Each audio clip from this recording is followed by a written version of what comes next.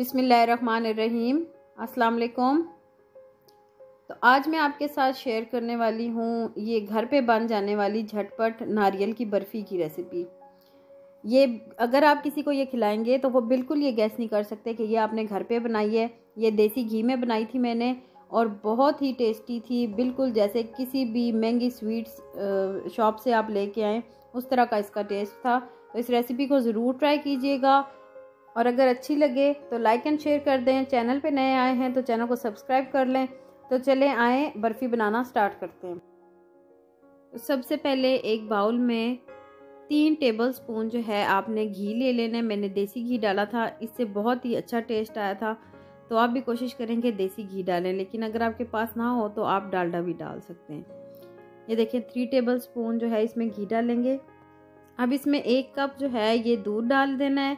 दूध जो है इसको रूम टेम्परेचर पे होना चाहिए और ये फुल फैट मिल्क मैंने डाला है इसमें।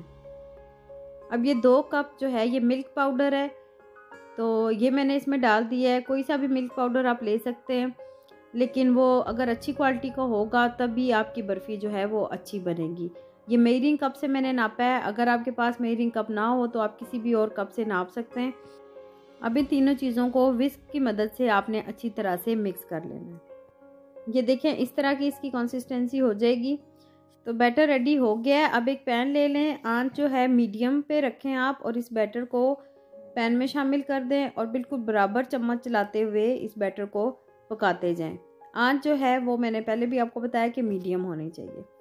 तो ये देखें, तीन से चार मिनट हो गए इसको पकाते हुए। अब इसमें हाफ़ कप जो है, वो पिसा हुआ जो नारियल होता है या डेसिकेटेड कोकोनट ये शामिल कर देंगे। मीडियम आँच पे इसको बिल्कुल बराबर चम्मच चलाते हुए आपने पकाते जाना है। इसको छोड़ना बिल्कुल भी नहीं है। ये देखें, इस तरह से चम्मच चलाते हुए आप इसको पकाते जाएँगे। तकरीबन इसको 10 मिनट लगेंगे और इसकी कंसिस्टेंसी इस तरह की कुछ हो जाएगी। तो ये देखें, जब इसकी कंसिस्टेंसी ऐसी हो जाएगी तो फिर आपने इसमें चीनी शामिल करनी है। चीनी जो है, इसमें मैंने हाफ़ कप में से वन टेबल स्पून चीनी जो है, वो मैंने बचा ली थी। और इसमें ये बिल्कुल परफेक्ट मीठा था। बहुत ज़्यादा तेज़ नहीं था, सर को चढ़ने वाला मीठा नहीं था। अब इसको हिलाते जाएँगे आप और चीनी अपना पानी छोड़ेगी और दोबारा से जब ये ड्राई होगी तो हमारी बर्फ़ी रेडी है। तो ये देखें, पाँच से सात मिनट में ये बिल्कुल रेडी हो गया है। अब ये नारियल की बर्फ़ी हमारी जो है ये बिल्कुल रेडी है। ये देखें पैन को इसने छोड़ दिया है। ये देखें, पास से भी आप इसको देख सकते हैं। अब चूल्हे को बंद कर देंगे और एक से डेढ़ मिनट के लिए इसको मज़ीद हिलाते रहेंगे। अब ये रेडी हो गया अब ये देखें, ये एक स्वीट्स के डब्बे का ढक्कन था। इसको मैंने चारों तरफ़ से ग्रीस कर लिया इसके किनारे भी ग्रीस कर लेने हैं। ये मैंने घी से ही ग्रीस किया है। आप ऑयल से भी कर सकते हैं।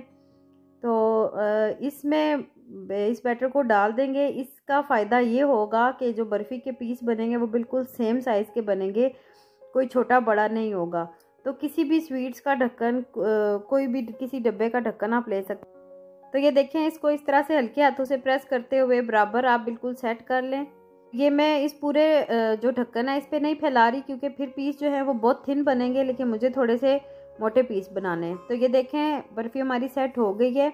अब ये मैंने थोड़े से पिस्ते काट के रखे हैं, वो मैं इनके, इसके ऊपर लगा दूँगी।